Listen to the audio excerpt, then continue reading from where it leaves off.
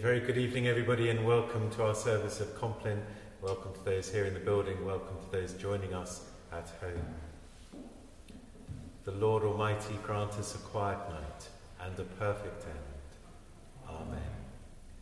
Be sober, be vigilant, because your adversary, the devil, as a, as a roaring lion, walketh about, seeking whom he may devour. Whom resist, steadfast in the faith. But thou, O Lord, have mercy upon us. Our help is in the name of the Lord. Let us pray. We confess to God Almighty, the Father, the Son, and the Holy Ghost, that we have sinned in thought, word, and deed, through our own grievous fault. Wherefore we pray God to have mercy upon us. Almighty God, have mercy upon us. Forgive us all our sins, and deliver us from all evil. Confirm and strengthen us in all goodness, and bring us to life everlasting. Through Jesus Christ our Lord. Amen. May the Almighty and merciful Lord grant unto you pardon and remission of all your sins, and the grace and comfort of the Holy Spirit. Amen. O God, make speed to save us.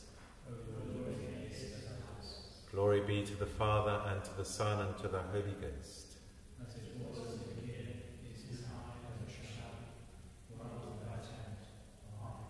Praise ye the Lord. Before the ending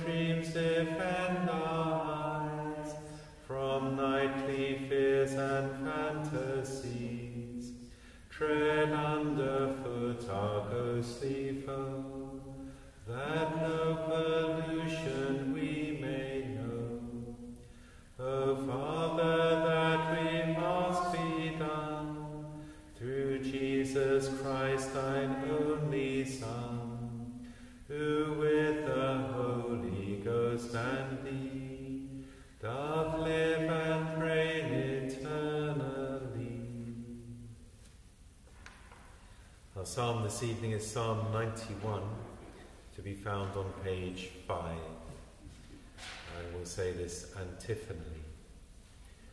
Whoso dwelleth under the defence of the Most High shall abide under the shadow of the Almighty.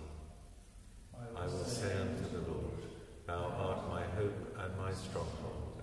My God, in him will I trust.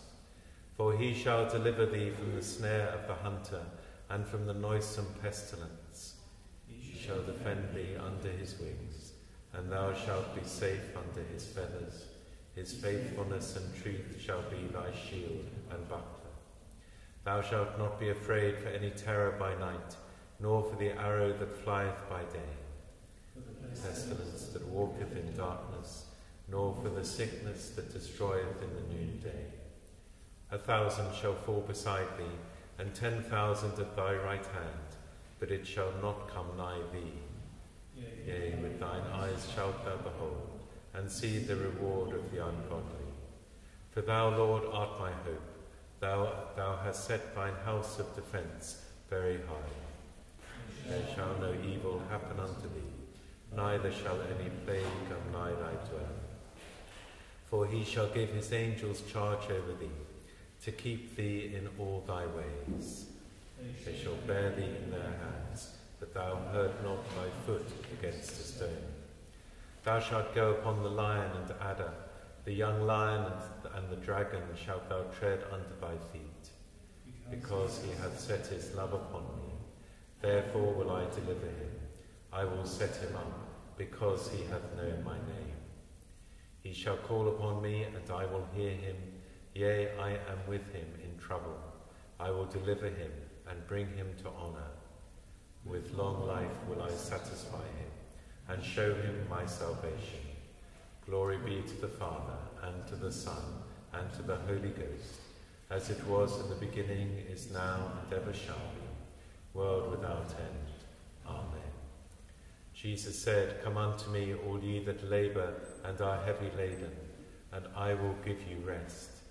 Take my yoke upon you and learn of me, for I am meek and lowly in heart, and ye shall find rest unto your souls. For my yoke is easy, and my burden is light.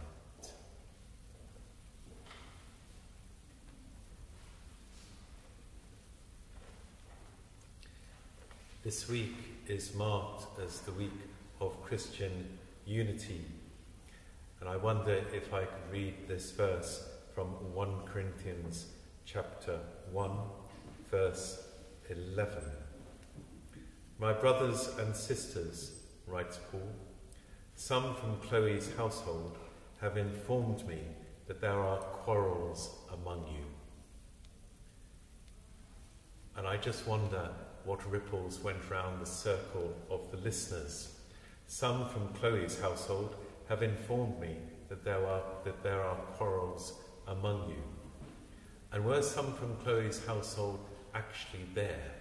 And were people looking a bit sideways thinking, hey, you from Chloe's household, how come that you let Paul know that not everything was going well? Or if they weren't there, how dare someone from Chloe's household let Paul know that things weren't all going well. Clearly, there is a bit of disunity, and someone or some from Chloe's household felt enough is enough, we need to tell Paul. He will want to know this. And Paul, always being straight speaking, sends it in the letter, it's read out. What would people be thinking? Sometimes, when things are going a little bit wrong, it's not easy to know to whom we should turn. And sometimes it's right to say something, and sometimes it's right just to hold it for the moment. What Paul does with this knowledge is to turn it into a good teaching moment, as he is always likely to do. Because basically, the, the Corinthians had got a little bit tribal. And so he talks that through. And I'm conscious we've, we've looked at this uh, relatively recent, but just one or two more points on this, or some of us have looked on this. He talked this through, and he pointed out that this wasn't about following particular individuals, but it's all about setting our focus on Christ and also setting our focus on our unity together. When we travel together in the same direction, seeking to know Christ better, seeking to receive His love, seeking to see how that love can be shown in our lives, we are less likely to fall out with one another. Many years ago, many, many years ago, I went for a walk in the Lake District and I was improperly shod because I didn't have any walking boots. So I borrowed some from a friend and they didn't fit. And I'm scared of heights and I just was in lots of discomfort all the way through. So I fell behind. And then someone called Mark came back and he walked with me because we were all going in the same direction and he didn't want me to be left behind so much that it might be tricky for me or tricky for the group. In this week of Christian unity, as we remember our brothers and sisters in other churches, also let us re- remember one another. And if we're conscious that if any of us are maybe not quite equipped, wearing the wrong shoes, needing a bit of help, getting a bit lost, scared of heights, whatever it may be, then let's take time to spend alongside them so we are all going in the same direction.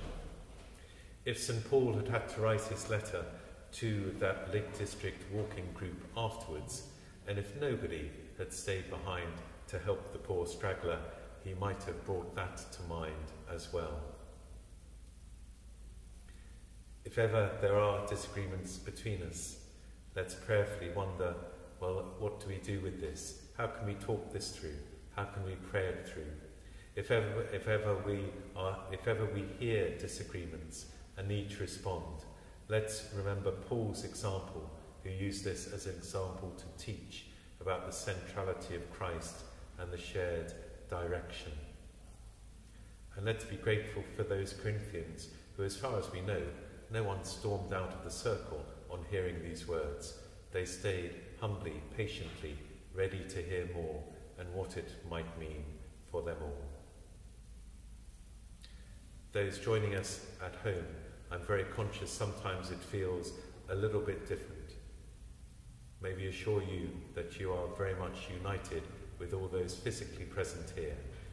One church, and of course the great one church worldwide and through history, united in Christ, proclaiming him from generation to generation. Let us pray. Into thy hands, O Lord, I commend my spirit. Into thy hands, O Lord, I commend my spirit. For thou hast redeemed me, O Lord, thou God of truth. Into thy hands, O Lord, I commend my spirit. Glory be to the Father, and to the Son, and to the Holy Ghost. Into thy hands, O Lord, I commend my spirit. Keep me as the apple of thine eye. Hide me under the shadow of thy wings. Preserve us, O Lord, while waking, and guard us while sleeping, that awake we may watch with Christ, and asleep we may rest in peace. Lord, now lettest thou thy servant depart in peace, according to thy word. For mine eyes have seen thy salvation, which thou hast prepared before the face of all people, to be a light to lighten the Gentiles, and to be the glory of thy people Israel. Glory be to the Father, and to the Son, and to the Holy Ghost, as it was in the beginning, is now, and ever shall be, world without end. Amen. Preserve us, O Lord, while waking, and guard us while sleeping, that awake we may watch with Christ, and asleep we may rest in peace. Lord, have mercy upon us. Lord, have mercy upon us. Our Father, which art in heaven, hallowed be thy name. Thy kingdom come, thy will be done, in earth as it is in heaven. Give us this day our daily bread, and forgive us our trespasses, as we forgive them that trespass against us. And lead us not into temptation, but deliver us from evil. Amen. Visit, we beseech thee, O Lord, this place, and drive from it all the snares of the enemy. Let thy holy angels dwell herein to preserve us in peace, and may thy blessing be upon us evermore, through Jesus Christ our Lord. Amen. Lighten our darkness, we beseech thee, O Lord, and by thy great mercy defend us from all perils and dangers of this night, for the love of thy only Son, our Saviour, Jesus Christ. Be present, O merciful God, and protect us through the silent hours of this night, so that we who are wearied by the changes and chances of this fleeting world may repose upon thy eternal changelessness, through Jesus Christ our Lord. Amen. We will lay us down in peace and take our rest, for it is thou, Lord, only that makest us dwell in safety. Abide with us, O Lord, for it is toward evening and the day is far spent. As the watchmen look for the morning, so do we look for thee, O Christ. The Lord be with you. Let us bless the Lord. The Almighty and merciful Lord, the Father, the Son, and the Holy Ghost, bless us and preserve us.